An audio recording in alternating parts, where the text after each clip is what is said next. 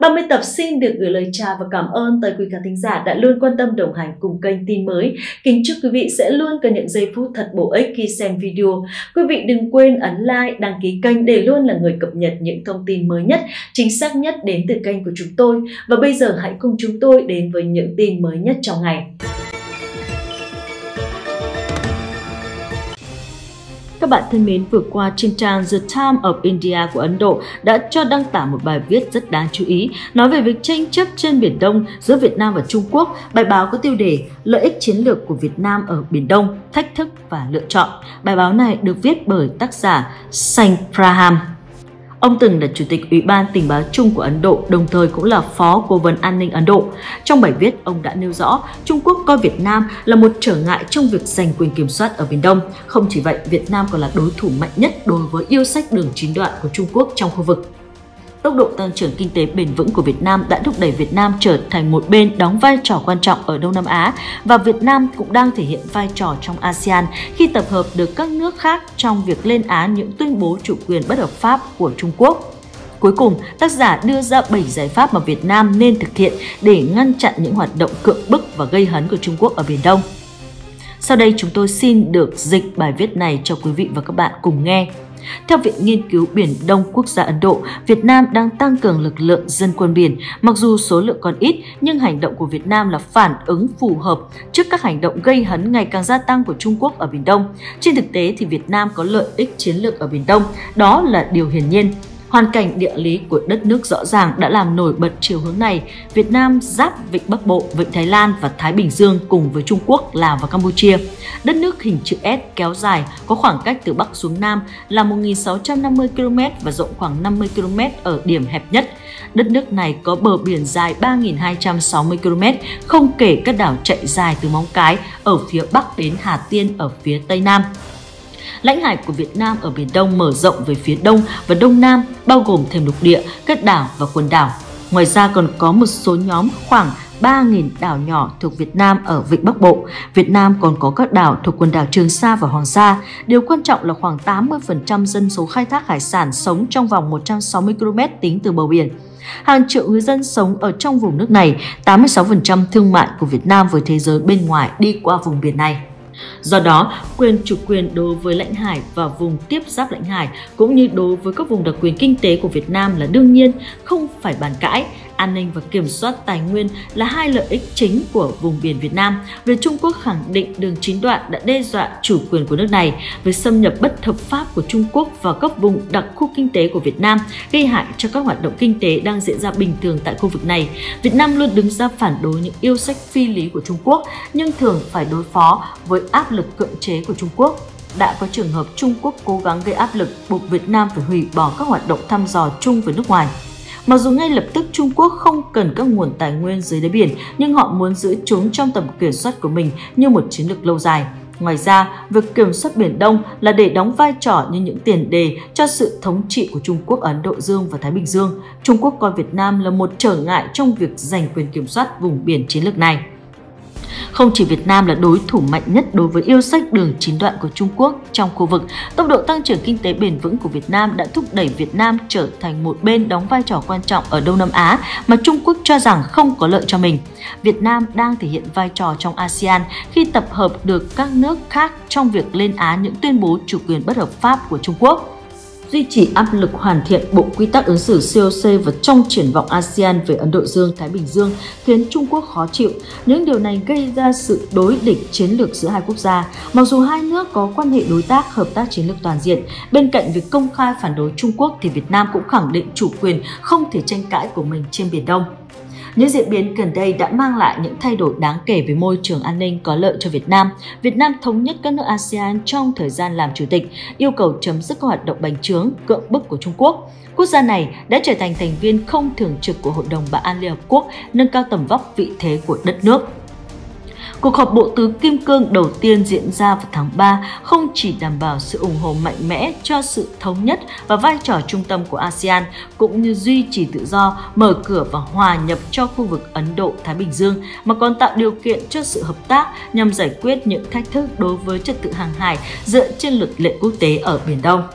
Bên cạnh đó, tâm lý chống Trung Quốc đã dâng cao trong thời kỳ đại dịch, chủ yếu là do nhận thức rằng ngay từ đầu Trung Quốc đã che giấu thông tin về virus khiến dịch bệnh lây lan ra toàn cầu. Một số đơn vị sản xuất ở Trung Quốc đã bắt đầu tìm kiếm các địa điểm khác để chuyển hướng hoạt động trong nước.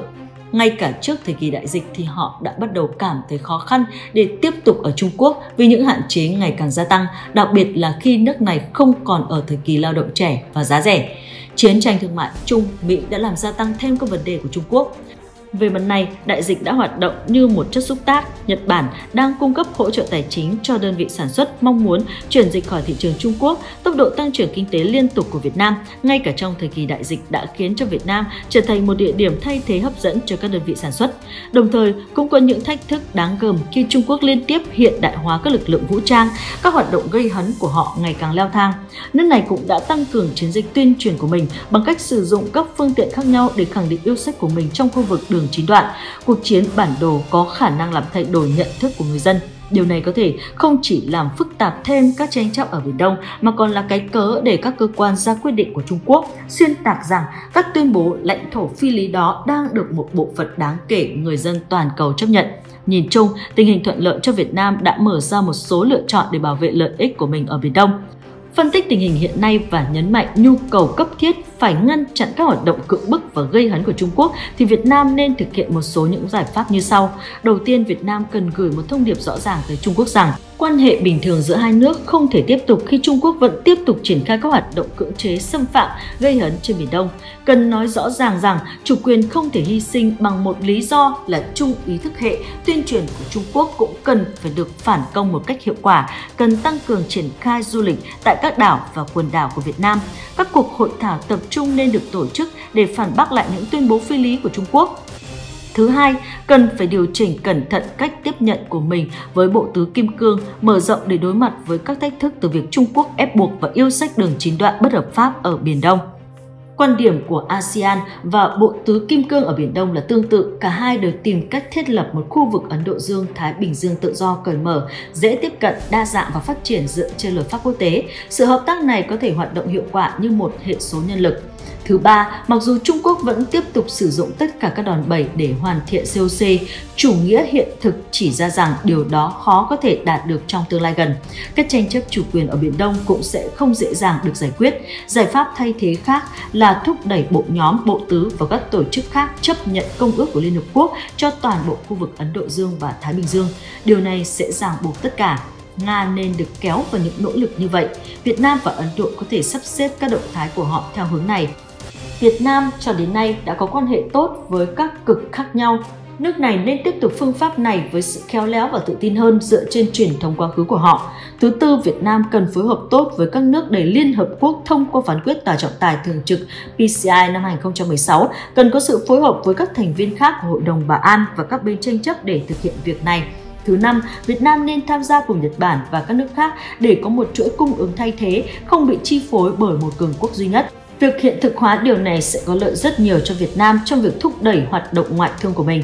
Thứ sáu, Việt Nam cần thể hiện rõ ràng ý chí kiên định của mình để phản đối các hành vi phi lý của Trung Quốc. Đây là điều kiện cần thiết để răn đe Trung Quốc khi mà Indonesia đáp trả bằng các triển khai các tàu hải quân và các máy bay chiến đấu đến các cuộc tấn công của lực lượng tuần duyên và tàu đánh cá của Trung Quốc, Trung Quốc đã rút lui. Một cách tiếp cận như vậy là cần thiết, thỉnh thoảng thì Việt Nam cũng nên thực hiện các việc tuần tra các đảo tranh chấp bởi lực lượng bảo vệ bờ biển và lực lượng dân quân đánh cá của họ như Trung Quốc để khẳng định yêu sách của mình đối với các đảo này. Thứ bảy, Việt Nam cần nâng cao sức mạnh toàn diện của quốc gia trong khi nền kinh tế của họ sẽ tiếp tục được cải thiện với các biện pháp thích hợp và nước này đang thực hiện các bước để phát triển khả năng quốc phòng của mình cần tập trung thật, đặc biệt là vào việc tiếp thu công nghệ tiên tiến vì trong tương lai công nghệ sẽ đóng một vai trò quan trọng để bảo vệ lợi ích của các quốc gia trong môi trường an ninh toàn cầu đang thay đổi nhanh chóng. Đây là một nhiệm vụ đầy thách thức, đòi hỏi một kế hoạch dài hạn để tạo ra các cơ sở đào tạo và nghiên cứu cũng như hợp tác với các quốc gia khác. Ngoại giao của Việt Nam cần hướng tới mục tiêu này. Các bạn thân mến, vừa rồi là một bài viết phân tích rất hay của chuyên gia Ấn Độ trong vấn đề tranh chấp chủ quyền Biển Đông giữa Trung Quốc và Việt Nam video của tin mới xin dừng ở đây. Hãy nêu cảm nhận của bạn bên dưới phần bình luận nhé. Nếu bạn yêu thích video hãy ấn nút thích, chia sẻ với người xung quanh và đăng ký kênh để cập nhật những thông tin hữu ích mà chúng tôi sẽ mang đến cho các bạn. Cảm ơn tất cả các bạn. Xin chào và hẹn gặp lại.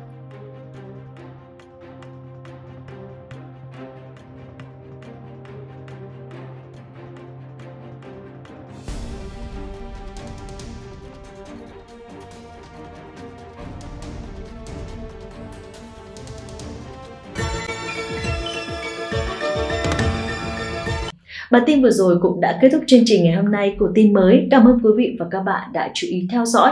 Mọi ý kiến đóng góp của quý vị hãy để lại trong phần bình luận video này để chúng tôi có thể kịp thời giải đáp. Còn bây giờ xin chào và hẹn gặp lại.